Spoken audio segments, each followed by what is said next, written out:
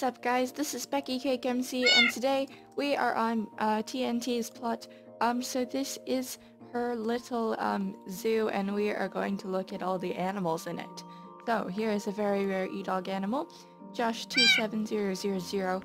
Here he is. Um, this one happens to be empty right now but it was uh, where TNT crafters would have been. Um, and here is B123B, the fantabulous rainbow sprinkles cake. Um, here is Lil Demon 8, and she is very hyper and excited as you can see.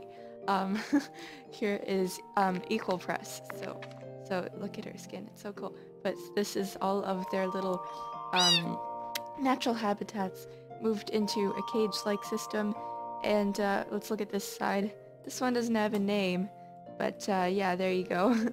um, this uh, this one doesn't have a name either. Weird. Uh, Epic Fire 75. Oh yes, he is my friend.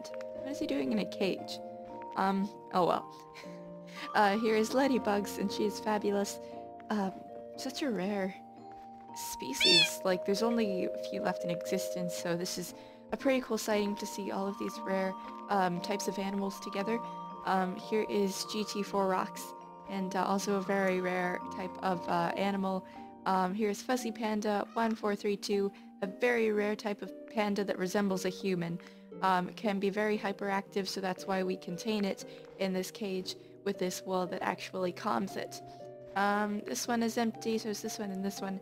So as you can see, we are still working on um, capturing more rare animals to get them to repopulate and um, so they will uh, not go extinct.